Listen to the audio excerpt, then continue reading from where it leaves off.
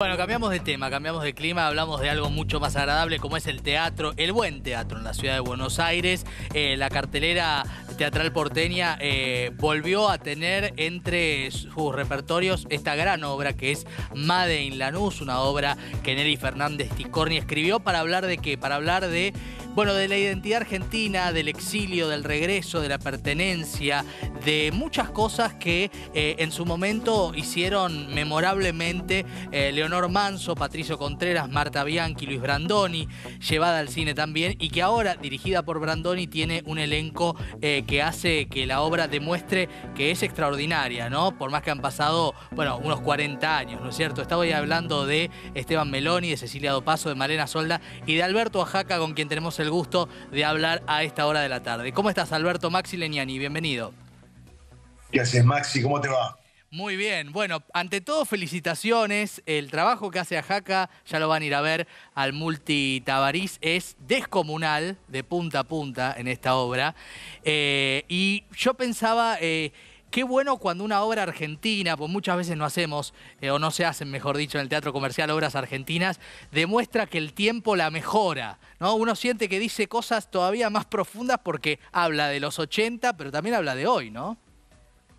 Bueno, supongo que es el valor de un clásico, ¿no? Es, lo que a, la larga, con el tiempo macerado, llamamos clásico. Eh, las, las, obras se solidifican, eh, a, pocas obras les toca, les toca ese derrotero y a esta en suerte eh, le ha tocado. ¿Por qué? Porque es una obra muy sencilla en sus diálogos y es una tarde familiar, una tarde-noche familiar, un reencuentro, pero hay unos temas universales tratados con, con, de manera magistral por la autora, ¿no? Mm, que es el desarraigo uno, ¿no? Más allá de lo particular que nos pasa a los argentinos en este momento y lo que ocurría también, la particularidad de lo que ocurría en aquel momento que tenía que ver con el, con el momentáneo regreso de, mi hermana y su, y su marido, los personajes que hacen Cecilia Dopaso y Esteban Meloni, a la Argentina, a Buenos Aires, al partido de Lanús, a su casa familiar, donde estoy yo, que soy el personaje del negro, y, y mi mujer, que es la Yoli, que es Malena Solda, y en ese reencuentro donde se teje toda una trama eh, que tiene que ver justamente con, con, la idea, con el intento de volver a estar juntos, estar juntos dónde, es el punto. Eh, donde uno está donde uno está con uno mismo y donde uno está con, con, con los que ama, ¿no? Que, bueno, no, no se resuelve fácil la, la, cuestión. Sí, total. Y además eh, con la posibilidad de que un texto nos cuente en base a, a preguntas que a veces no tienen una respuesta unívoca, ¿no? ¿Dónde se puede estar mejor? ¿Dónde está mi pertenencia? ¿Dónde está mi identidad? ¿Dónde están los míos? O donde quizás las opciones económicas son mucho más favorables para desarrollarse, ¿no? Una pregunta este, que, que sigue cobrando validez, como bien decías, de este clásico. Y además tuvieron la oportunidad de que los dirija nada menos que Brandoni, ¿no? Que hizo ese texto, que lo encarnó, ¿no? Y, y que es un poco también una especie de de homenaje a, ese cuarteto de actores que me imagino que para ustedes también son un poco patriarcas en el mejor sentido de la palabra, ¿no? Del teatro. Mirá, desde ya yo no, no eh, lo conocí a Beto en esta oportunidad a raíz del, laburo, conozco sí a Leonor y, he trabajado con, con, Pato Contreras este, y por supuesto he visto a, a Marta Bianchi y ambos mejor dicho, los cuatro de ese cuarteto eh, forman parte de la historia del teatro argentino. Y en particular, con, Beto em, hay una singularidad que, por supuesto, está muy identificada con esta obra, eh, que él está muy identificado con esta obra, y también Brandoni es eh, tal vez el, mayor exponente que tenemos, al menos hoy, este, de lo que es el teatro, de este tipo de teatro. El, el buen teatro o el excelso teatro costumbrista argentino. Em, el mejor que nadie entiende los códigos de actuación de, que demandan este tipo de obras, ¿no? Eh, las lee a la perfección y, y, las ama, digamos. Entonces él, es un fervoroso este, defensor de, este tipo de teatro argentino.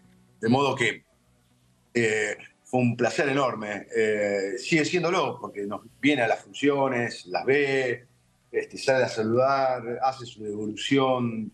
Em, no sé, nos vemos tres, cuatro veces por semana, este, tenemos seis funciones por semana y al menos en tres, cuatro de ellas él está ahí eh, participando con nosotros eh, desde antes, eh, viniendo a, decirnos antes qué es lo que vio de la función anterior y, bueno, y compartiendo el, momento, viviéndola ahí con nosotros. Está buenísimo. Está muy bueno. Eh, van de miércoles a domingo en el eh, Multitabarisco Mafi, ahí a metros eh, del obelisco, en Corrientes al 800, ¿no es cierto? Si la memoria no me traiciona, este, al lado del Rex. Y, es una obra, pienso, Alberto, también que, que nos permite reencontrarnos con, con algo del orden de, de una emoción donde donde hay cosas que nos unen como argentinos en esta obra. Tuve esa sensación al verla, ¿no? Respecto de que hay diferencias entre estos personajes muy representativos, muy identificables, uno podría decir, ¿no? Eh, el que se va afuera y parece que no quiere recordar a su país, pero, pero hay muchas apariencias también, o el que se queda y dice, yo me, muero con la mía, me muero con mi taller, me muero con mi lugar, pero tal cosa. Eh, y pienso que también el teatro, y en estos tiempos en los cuales se pugna para mantener eh, lo que corresponde para tener un teatro de punta, como es el de la ciudad de Buenos Aires y de la Argentina toda, eh, este despertar de conciencia que genera el teatro, ¿no? que es tanto mejor que tanto panfleto ¿no? que a veces nos toca cruzarnos, ¿verdad? No puedo agregar mucho a lo que decís porque es exactamente así. Eh, efectivamente, ahí estamos nosotros este, cada uno en particular, yo siento eh, que la obra me, da, me deja esa posibilidad de opinión, digamos, en la actuación, que es la mejor manera que encuentro siempre, siempre, de cualquier modo, en cualquier eh, laburo que encare, eh, de opinar. esta obra es generosa para eso, ¿verdad? Y, te, e impone, mejor dicho, una una, una opinión sin prepotear, digamos, nada. Entonces, este, Brandoni dice una cosa que está muy buena, que es que los cuatro tienen razón. A mí me gusta agregar una cosa a esa Biblia que, me gusta mucho, que, que, está libre de culpa que tiene la primera piedra, que es más o menos lo mismo, pero al revés. O se conectan ambas cosas. Todos tenemos razón, todos tenemos la culpa. Em, y, e insisto, no, no, no, no se devuelve, o mejor dicho, no se entrega este, masticada el, drama y la comedia. Digamos, también casi el 60-70% de, de obra está ofrecido como en el formato de comedia, ¿no? este, para que se desate luego el drama y, la respuesta es como muy conmovedora. Eh, función tras función, la gente de pie.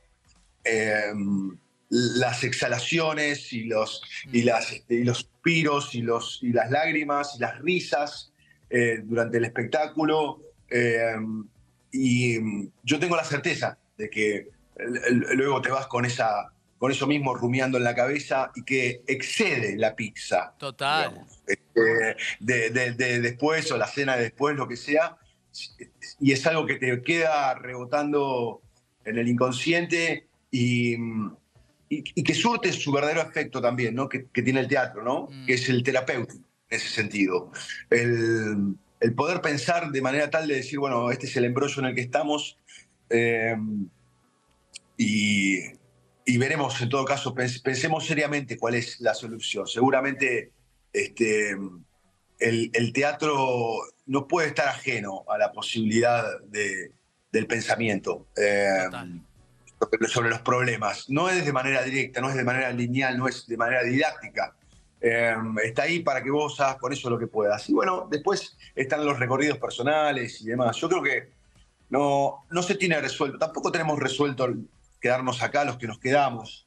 Eh, porque nosotros, de alguna forma, por lo menos buena parte de la población, gracias a, ciertas bases que tiene este país han hecho que sea un país en la región que da un, pueblo ilustrado de alguna forma, ¿no? Eh, seguramente la educación pública, seguramente la salud pública, seguramente por eso hay tanto teatro en la ciudad de Buenos Aires. Eh, teatro que, que mm, no depende de ninguna manera de, las políticas de Estado, sin embargo las políticas de Estado no pueden estar ajenas al teatro, son dos cosas diferentes. Teatro seguirá existiendo, existió y va a seguir existiendo a pesar nuestro y a pesar de quien quiera.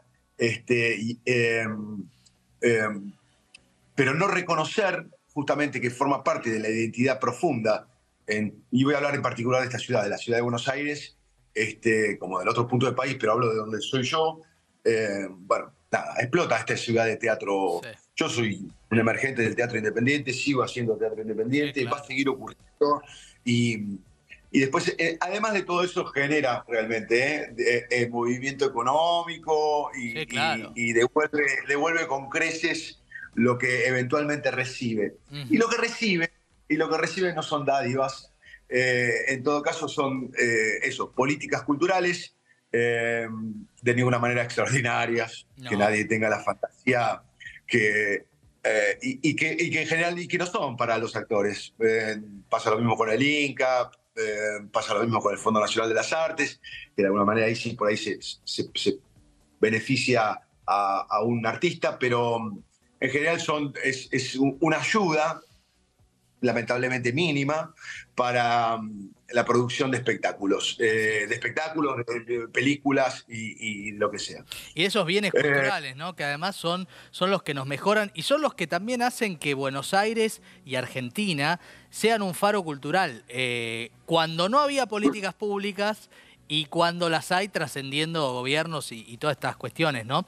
Eh, y me parece que ahí también eh, lo que pasa con, con, espectáculos como el que hacen ustedes, y quiero evocar cuando muchos te conocimos como actor y nos deslumbramos cuando hiciste Ala de Criados de Mauricio Cartún, y uno piensa en tantos protagonistas hoy del teatro que nacieron de ese semillero que es el independiente, ¿no? Eh, así que es importante también tener en cuenta que todo lo que existe existe también por esta cosa tan a pulmón, tan colectiva que es sobre todo el teatro, ¿no es cierto?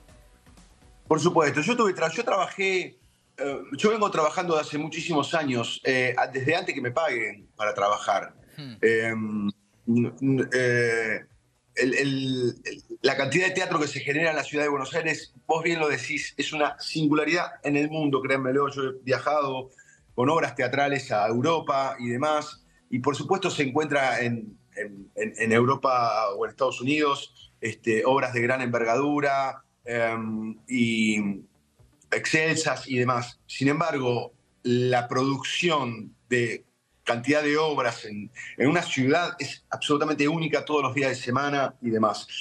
Esa, esa producción, insisto, es, emerge por necesidad, porque, porque este pueblo, porque esta ciudad en particular, hablo de esta ciudad, necesita esa, esa, expresión y está en nuestra identidad como, como, como el, fútbol.